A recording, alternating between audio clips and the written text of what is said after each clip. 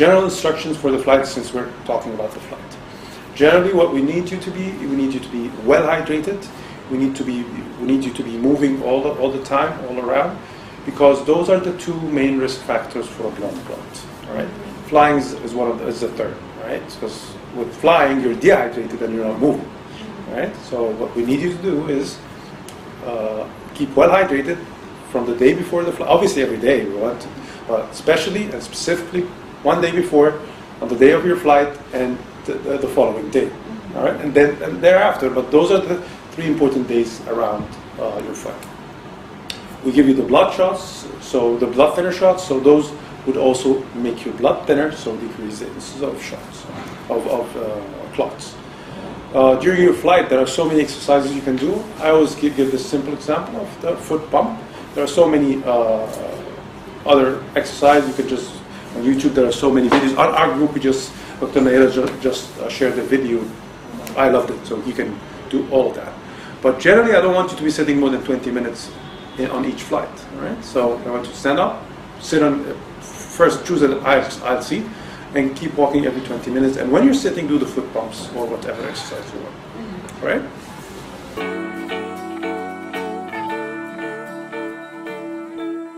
Okay. So these are um, in here. Each and every one of you had uh, the discharge summary, what you did, the uh, instruction list, generally what you're gonna, how you're gonna drink, how you're gonna uh, uh, have your medications, and the third paper is the prescription list. Okay. So each day you're not in the hospital, we would give you a shot. We actually uh, each each one will take one of those bags. Those are your discharge medications. Um, so, like you're leaving today, and you might be leaving today.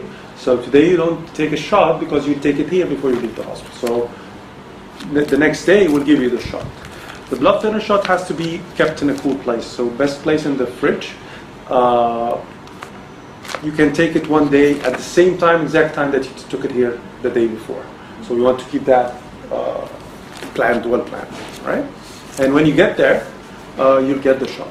So uh, the first thing is the, and everything here labeled is, is labeled on the on the box itself, in English and in Arabic, of course. So the first thing is the is the augmentin, which is the antibiotic. All right. So here, this is your antibiotic. So you got to stay on it. Take one large spoon every uh, every eight hours, and you stay on it for five days. Okay. Then we go to the anti-acid pill. This is the Protonix. All right. So you're gonna, right? You have it at, as Pantoloc. Yeah. So yours is Pantoloc. It's the same, uh, different brands only. 40 milligram.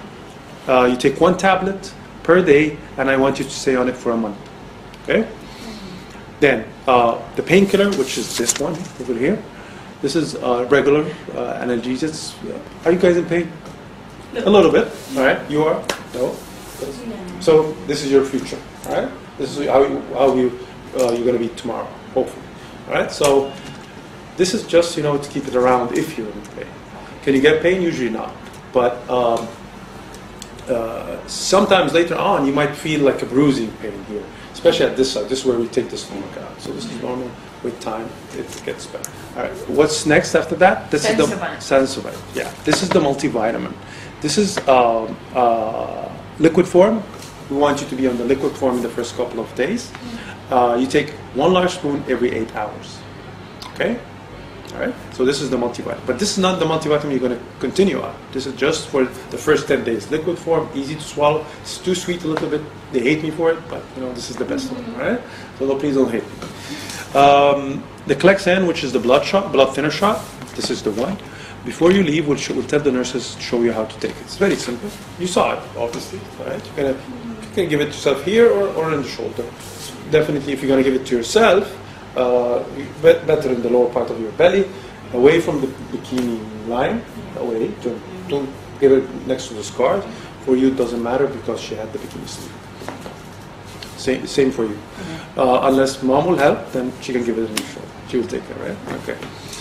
Uh, the following is, is not included here because this is the type of vitamins that you're going to take later on. All right. So once that's that's finished, you can you have the option to take any multivitamin you want, and you can always text me and ask me which one But this is our recommendation, which is Centrum A to Zinc. But there are so many other brands, liquid form, uh, chewable ones.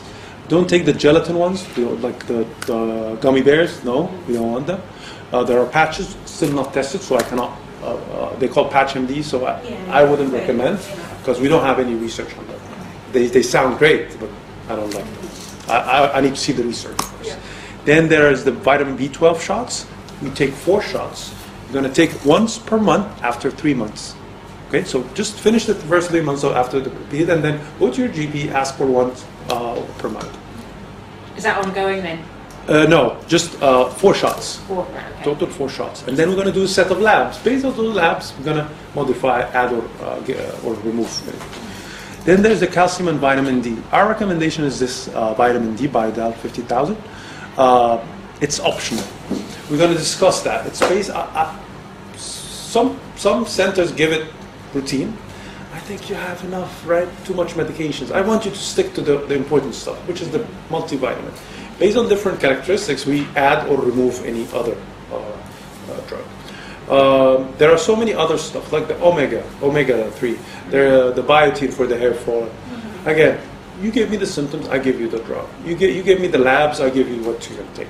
I like that. I don't like to be over giving anyways. It doesn't make any sense. We do that more with the bypass. Sleeve is, is a little bit, you know, don't take it easy, but you know, it's not as complicated as the bypass.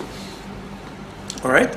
Um, this has to be cool all the time. So what we're going to do is, uh, for people staying, we're going to keep it in the fridge with the nurses, but please don't forget to take it when you go. Okay. Okay. What about sports stockings? Stockings. Oh yeah, because I've got some. All right. So yeah, we were just discussing this with the with Mayra and the, and the team yesterday. What, what's the best plan for the flight? What I've what I've just said.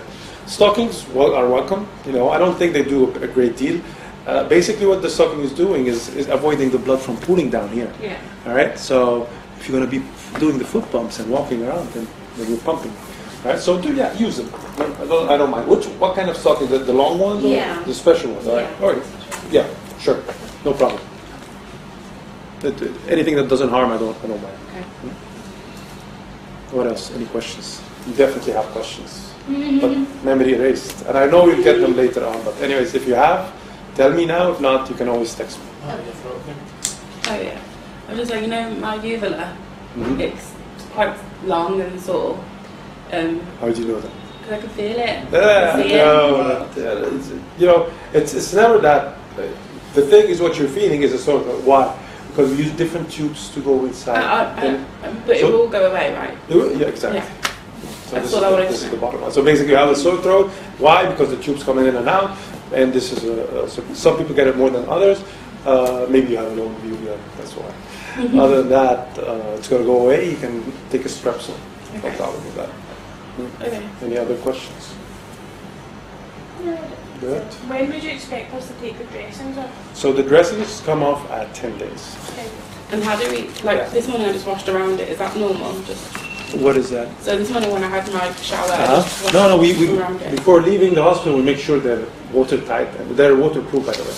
Before you leave, we're going to make sure that um, it's, it's clean and dry and everything, okay? And you, need, you don't need to change them until 10 days.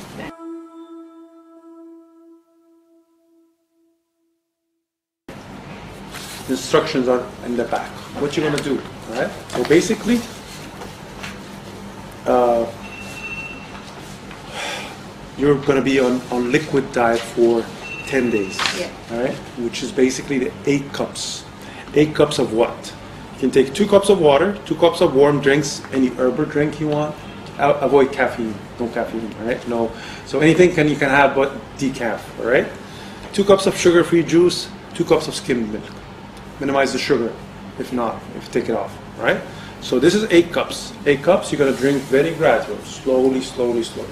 I'm telling you exactly because you're leaving. You guys started uh, Yeah. uh, drinking, Started right? drink, yeah. All right, but for her, she's leaving, so she's ready. You need to reach the eight cups.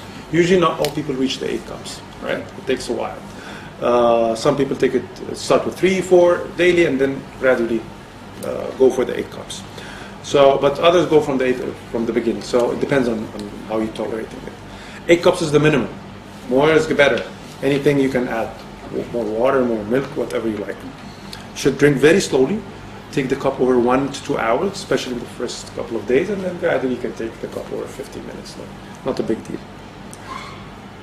As I said, three to four cups is sometimes hard, you know, uh, eight cups is sometimes hard, so some people take the three to four cups and gradually increase. When do you stop? You stop when you feel full, relax, take it easy. Remember yesterday I was saying when you drink, use a spoon or sip small sips, but never use a straw. Straw brings air inside your stomach and takes up a space, so we don't want that, right? So no straws. Uh, on day seven, you can introduce some soup, broth, clear soup. Any broth is okay, no problem. But not the, any soup, or regular soup at home and just st- strain the contents, right? Painkillers, as I said, when needed. Mostly people take one, two, maximum three over the next 10 days. So we, we, we, we gave you more, but you know, don't, doesn't mean I gave you that to finish. One patient once finished all of that. She said she thought she had to be on a daily. No, no please, because this is not good for your stomach. No. right? Yeah. You, you all know that. And it's okay to swallow them. Yeah, yeah. So obviously, you see, most of the uh, most of the drugs are liquid form. When every not everything is in liquid form, or at least some of it is not available here. And internationally, not all the we, they cannot make everything liquid form. But those are really tiny things. When we chose the brand, we chose or the type of drug, we chose the smaller pills. Uh, if you if you feel uh, any pain, any fever, any any sharp pain going to your back, to your shoulder, uh, you're generally going to feel really bad. You know, this is what you call. And I don't mind even if, if it's something simple. Just text me. It's better safe than obviously sorry. Okay. So if you have any weird symptoms, just text me. I'll I'll, I'll tell you what to do. All right. Uh, I think that's that covers everything. Still have questions? You can shower on, on those dressings, it's okay. Okay. Um, if, if, if they get wet, if they get detached, if they, uh, you sweat under them, you can always change the dressing and you can do it at home. yeah. You know, this is very, they, they already, uh, you can buy them online, the dressing packs, you can just take it out, put it in.